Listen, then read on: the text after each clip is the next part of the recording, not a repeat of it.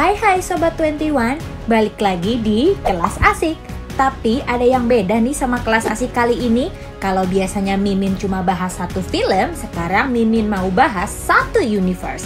Pastinya yang paling kalian tunggu-tunggu yaitu Marvel Cinematic Universe fase keempat. Langsung aja kita mulai. On your left.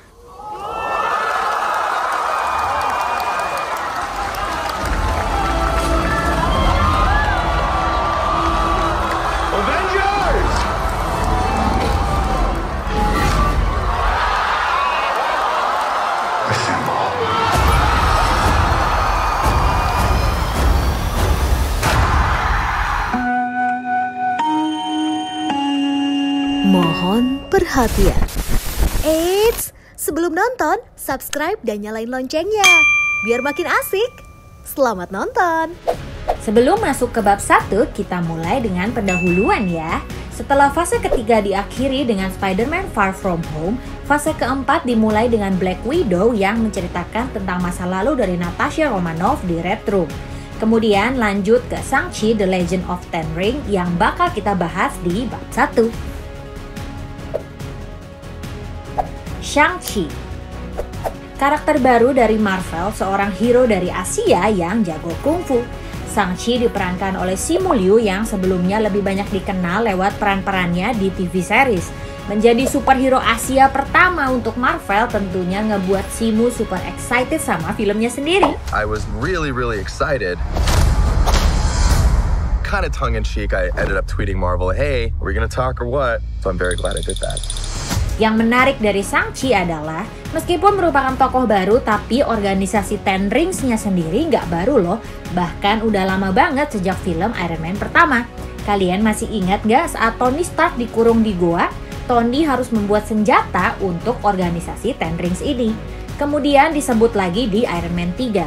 Waktu Tony harus berhadapan dengan Mandarin dari organisasi Ten Rings, meskipun pada akhirnya kita tahu kalau itu palsu.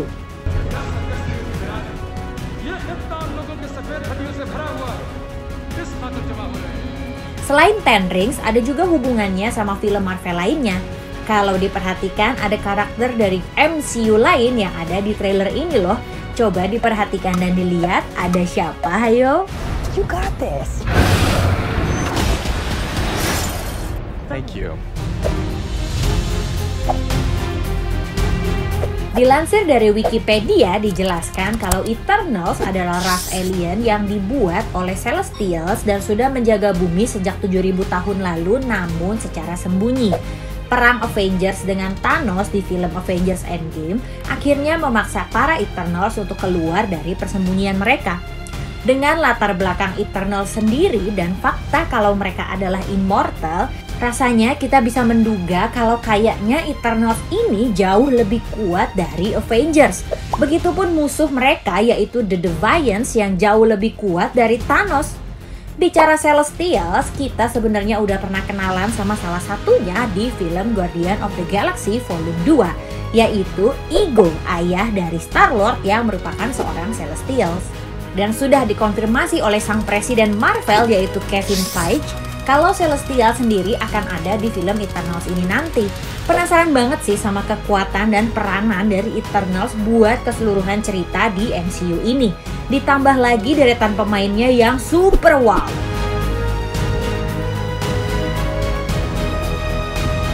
Masuk ke bab 3 kita ngomongin Spider-Man. Yang pasti kita udah tahu untuk judul film selanjutnya yaitu Spider-Man No Way Home. Banyak rumor yang beredar mengenai film ketiga Spider-Man ini terutama siapa aja sih yang bakal terlibat di dalamnya. Yang pertama ada Doctor Strange. Ada foto dari set syutingnya yang bocor di mana Spidey terlihat menyapa Doctor Strange di depan sanctumnya. Masih belum jelas apa dan kenapa alasan kedua karakter ini ketemu. Ada yang bilang mungkin Spider-Man akan menjelajah banyak universe atau rumor yang paling kuat adalah Doctor Strange akan menjadi mentor selanjutnya untuk Spidey menggantikan Iron Man. I, I'm confused as to the relationship here. And what, what, what is he, your ward? No. I'm Peter, by the way. Doctor Strange. Oh, you're using the made up names. Um, I'm Spider Man then. Kemudian dilansir dari Screen Rant tentang siapa aja yang udah confirm akan ada di Spider-Man No Way Home, Ada dua nih yang paling menarik. Yang pertama ada Electro dari The Amazing Spider-Man 2 dan yang kedua adalah Dr. Octopus dari Spider-Man 2 karya Sam Raimi. Dengan hadirnya dua villain dari film Spider-Man yang berbeda, rasanya makin kencang rumor kemungkinan kalau Tobey Maguire dan Andrew Garfield juga bakal nongol di Spider-Man No Way Home ini.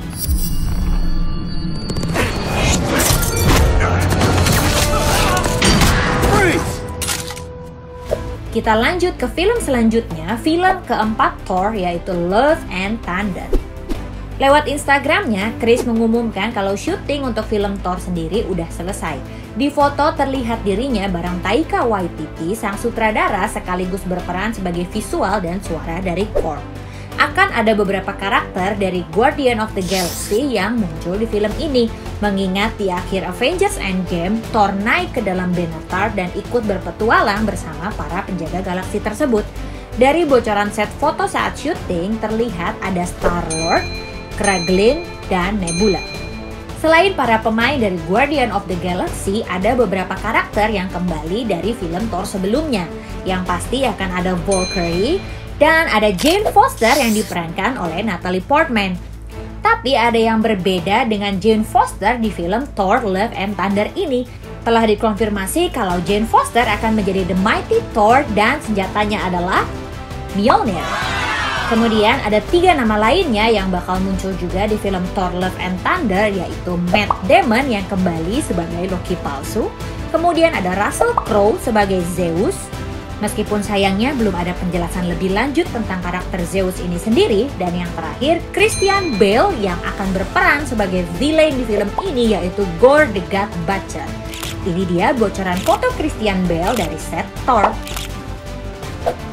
Emang paling asik kalau ngomongin Marvel Cinematic Universe ya Sobat 21 Selalu excited banget sama bocoran atau info apa pun tentang film-filmnya kalau Sobat 21 punya bocoran yang Mimin belum tahu, dibagi yuk komen di bawah ya.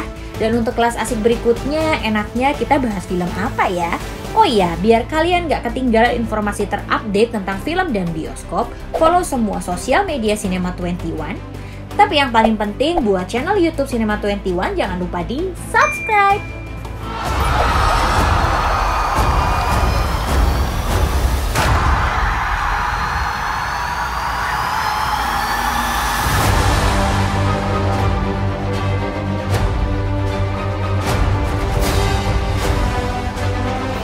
Asik videonya? Jangan lupa like, subscribe, dan komen ya. Sampai jumpa di video selanjutnya.